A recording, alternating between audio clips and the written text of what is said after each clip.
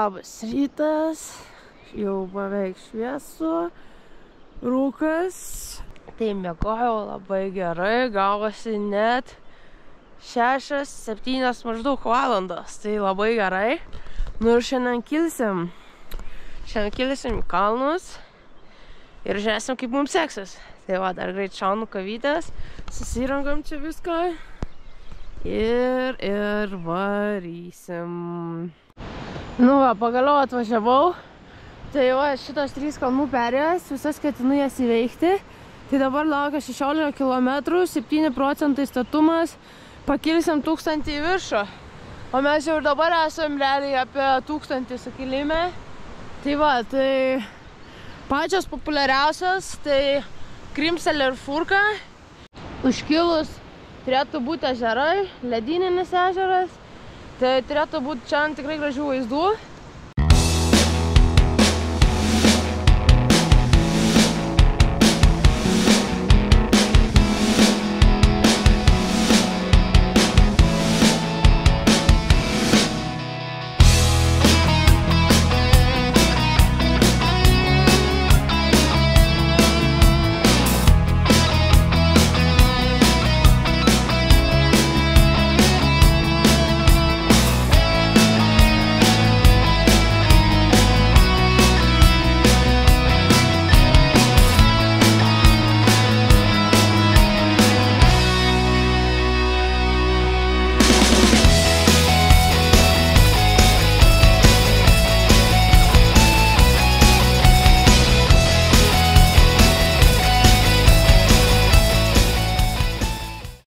Nu ką, prasidės kilimas, tai matysim kaip seksis.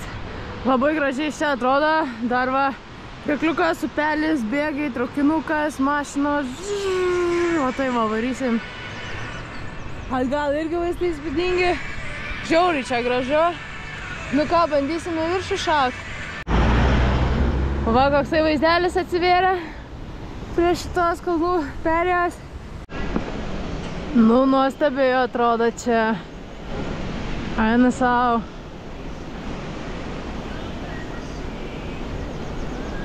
Kokie galingi.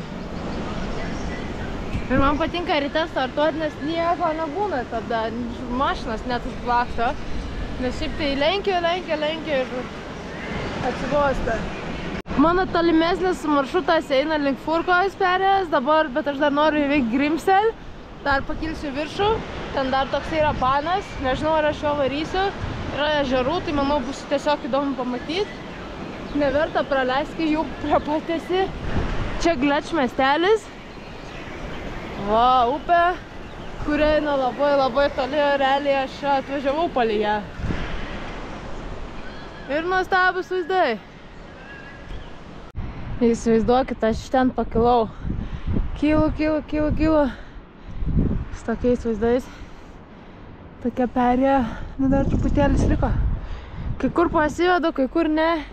Priklausomai nuo statumo. Pažiūrėsim. O po to man va tenai reikės palei tą liniją. Bet dabar dar iki tos pusės reikia pavažiuoti. Tai pasižiūrėsim, kaip čia šiandien susisuksim. Šiaip dar gan anksti. Pusė devynių rytą. Bet dar blogelis montuot, kas užims jau vakare tikriausiai.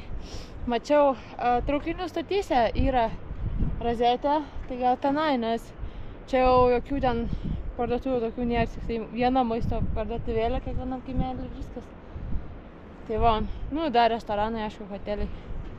Bet nežinau, ar ten man įleistų normaliai pasidėti ilgam. Geras oras šiandien, daugiau matosi. Dar šiek tiek debesiukų kai kur. Bet neblogai jau matas visur. Čia beveik pačiam viršui. Va jau ir sniego yra. Su vasara. Gniuštė. Į prairąją. O kaip čia viskas atrodo. Iš aukščiau. Mašinyčių jau yra. Su kiekvieną valandą jų vis daugėja. Snegu čia irgi yra. Pažiūrėsim, ką pamatysim tenai už kalno. Mocai va. važinėja. Labai daug mocų. Irgi turistauja. Nu tai viskas, 2105 Grimsel kalnų perėja. Dviratukas šalia. Va kaip čia viskas atrodo. Pasisekė su orais. Vakar sakė, nebuvo tokie geri orai. Sutikau vieną dviratininką, taip pat prie kitos perės irgi. Sakė, buvo labai labai apsiniaukę, nesimatė vat, jau sniego ir panašiai. Tai va, super, super, super. Dabar važiuosim taip tiesiai dar. Tai tikriausiai leisimės, po to vėl teks iškilt. Matysim. Tai va, kita pusė atrodo taip. Dabar man reiktų pagal idėją tikriausiai leistis, leistis, leistis. Norėčiau iki dar šito miestelio nuvažiuoti. Čionai dar objektas lankytinas yra. Bei dar yra vienas traukinukas, bet kur tiksliai dabar nebežinau. Tai va, čionai yra dar toksai vienas ežeras. Vadinasi Totensy, mirusiųjų ežeras. Kiek pasidomėjau, tai nuo Napoleono laikų. Tai va, tai ir dar vienas tolimesnis yra tenai. Tai va, kaip čia viskas atrodo.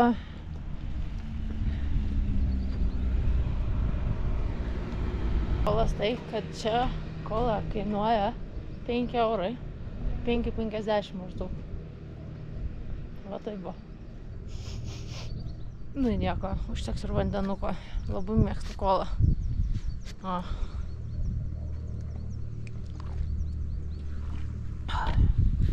Bus reikalų vėliau, kai grįžinėsiu čia užkilt, man atrodo. Jo, bet žiauriai kažkur, žiauriai, žiauriai, žiauriai, visur kalnai, geras oras.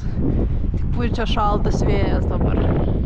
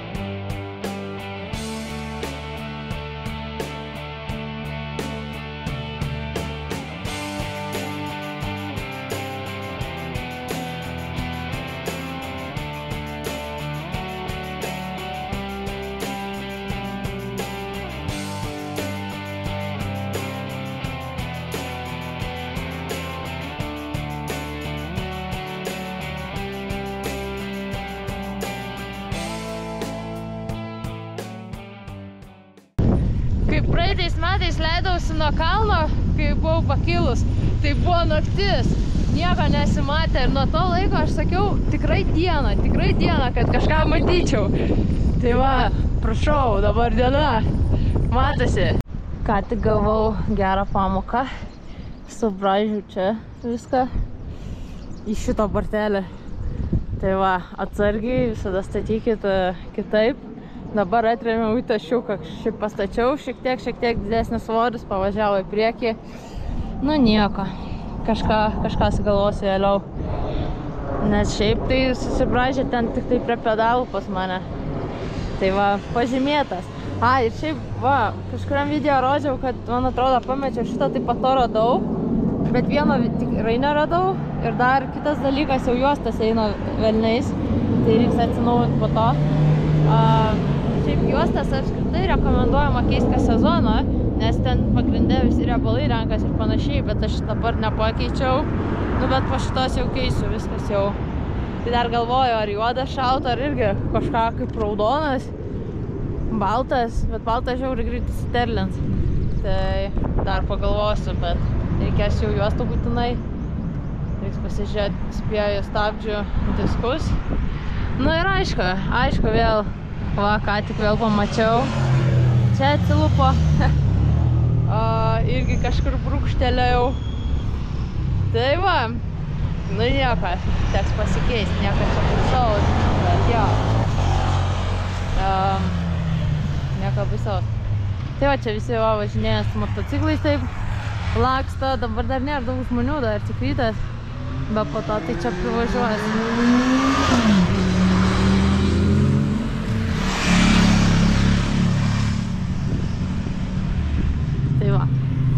Nu, žiauriai gražu.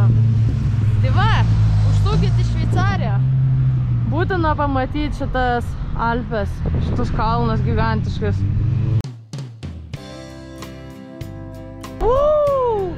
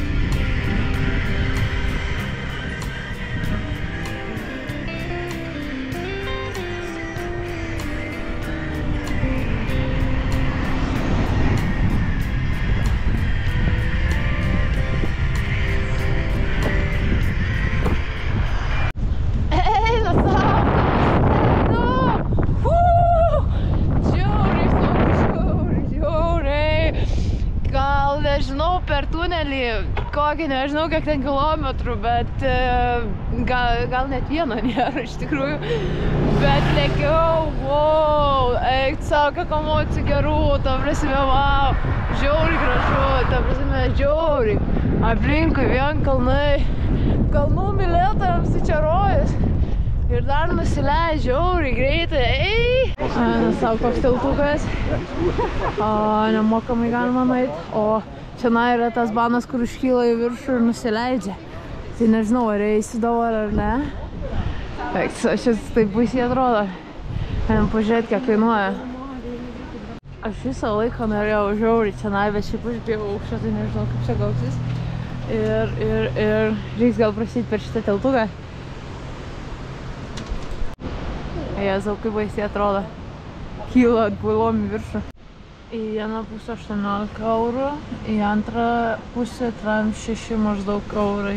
Kainuotų, leidžiasi 12 minučių. Ilgis 7 metrų, aukštis 7 metrų, pastatytas 2006 metais. Judantis tiltas. Reikia pagalvoti, eiti ant to bano ar ne, nes šiaip brangu, kad nam 6 eurai, na, aišku, čia Šveicarija.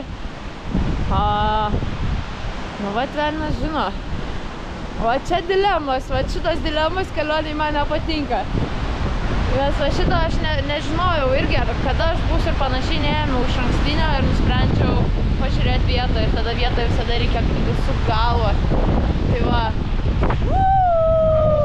Čiuk-čiuk. Realiai tam bane tą patį pamatysi, ar ne? Tiesiog, kad nusileisi dar. Čia va kaip varo.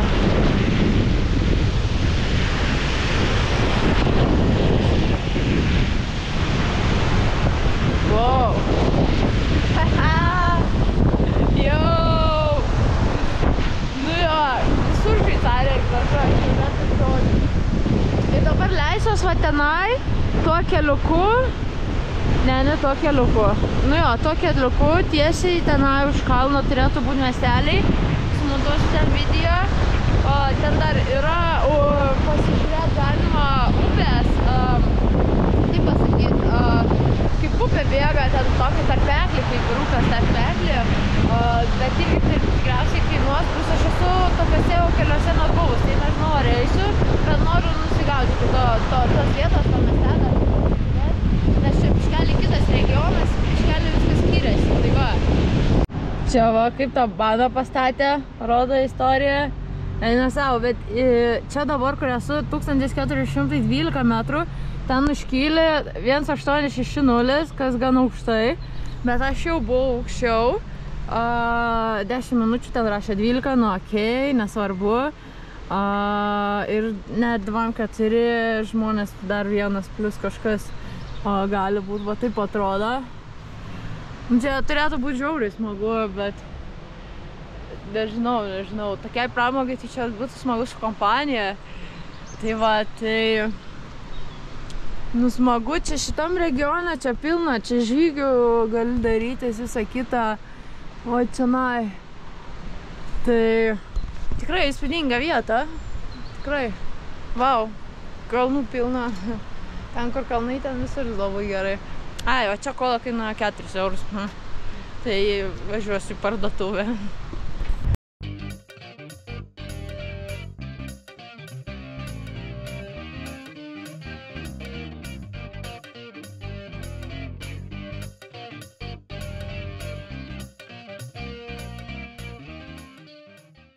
Nu, va, dar vienas punktas.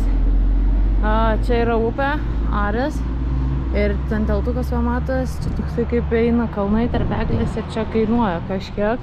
Apsilankyti reikėtų pasižiūrėti kainas. A, tai net nežinau, ar eisiu ar ne, bet šiaip įdomu, kiek kainuoja. A, normaliai, 10 eurų va, žmogui. Bet neįsiu, kadangi esu jau tokiuose buvus, tai kažkaip, kažkaip buvo tiesiog įdomu va, važiuoti pasižiūrėti, kaip čia tiksliai yra. Gal kažkada ateityje irgi. Nu va, dabar esu uh, Interkirchen, vadinasi va taip va. Čia dar yra du lankytiniai objektai, tai čia tavo upės tarpeklis, čia dar yra krioklys. Pasižiūrėsim, kas čia bus. Ir ką aš dar norėjau parodyti, kad čia va Liucerna yra viršui, visai netoli, per kurią aš jau važiavau. Tai va, mano planas yra atgal grįžti ir tada varyti Furkapas perėją. Bet atgal grįžti tai reiškia vėl 30 km į viršų mint, nes dabar ką tik nusileidau, žiauriai smagu buvo, nu nerealiai. Tai dar pasižiūrėsiu, čia neužylo pasieksiu tą miestelį, pasižiūrėsiu vlogelį, visą kitą. Bet čia spėjau per aplinkui be šansų, tai reiks atgal tikrai grįžti. Tai reiškia, kad aš užtruksiu labai labai ilgai. Tai šią naktį tikrai tikriausiai net ne, ne, ne, ne, neįveiksiu. A, o nes visą laiką nusileidžiant, tu važiuoji KM, PM, KMH. Tai įkalniai įsivaizduokit, kokia yra. Tai va, iš kitos pusės, iš kurios aš šiandien ryte startavau, yra šiek tiek gal paprasčiau, ten tiesiog taip, taip, taip. Ir tu gali minti, čia gali būti sudėtingiau man. Tai va, bus įdomu pasižiūrėti. Tai va, tai pradžiai važiuojame į tą miestelį, vlogelį ir tada jau galvosim su nakvynė ir panašiai. Ir tada rytoj tikriausiai tik tai važiuosiu iki furką, bet aš jos tikriausiai nedasieksiu. Tai reiškia, kad tik po rytą aš kilsiu į tą, pe, tą perėją. Tai va, tai šiek tiek ilgiau galiu užtrukti negu planavau, nu bet normalu. Kalnų perėjos. Žodžiu, sumontavau video, pasidėjau tokioj kaip ir parduotuvė, buvo dar ir kavinukė, tai labai gerai buvo. Esu dabar va čianai, Meringen, net toliau nuvažiavau nuo čia, nes norėjau iki čia važiuoti, bet uh, važiavau iki čia dėl to, kad čia didesnis miestelis buvo va, kažkas laidam. Uh, ir čia na, aš jau važiavau, kai važiavau į, į priekį, tai, va, tai čia labai mažas atstumas. Tai aš dabar vėl grįžtu atgal, Tai čia apie 25 km maždaug į kalną. O, ir kažkur vat, pernakvosiu, nes jau 8 val. vakaro ir tada vėl kylam. Ir tada bus ta kita furka pes perėja. Ir važiuosim per ją ir žiūrėsim, kaip toliau seksis tolimesnės įveikti, nes toliau irgi bus. Tai va. Tai šiandien jau yra nuvažiuota, tuoj pasakysiu, kiek 52 km. Nu, bet čia Kalnų perė, tai, tai dabar dar kažkur va, link nakvynės vietos. Ir rytoj žiūrėjau, man atrodo, 4 valandas kilimą. Nu, tai reiškia, 4 valandos jau ryte 4-5 valandas jau užsinaudojo, kad startuočiau. Tik tai startuočiau nuo ten, kur aš jau noriu. Tai va, nu, bet smagu vis tiek, pasivažinėjau ir panašiai, aplankiau aš tas vietas ir panašiai apylinkės, visur čia yra ką pamatyti. Tai va, tai judėsiu dabar. Nu tai ką, aš jau įsikūriau, einu magot, yra 11 val. vakarą, rytoj laukia furka, reikia susikaupti, tai ate, hebra, ate, rytoj ryte parodysiu, kur aš čia.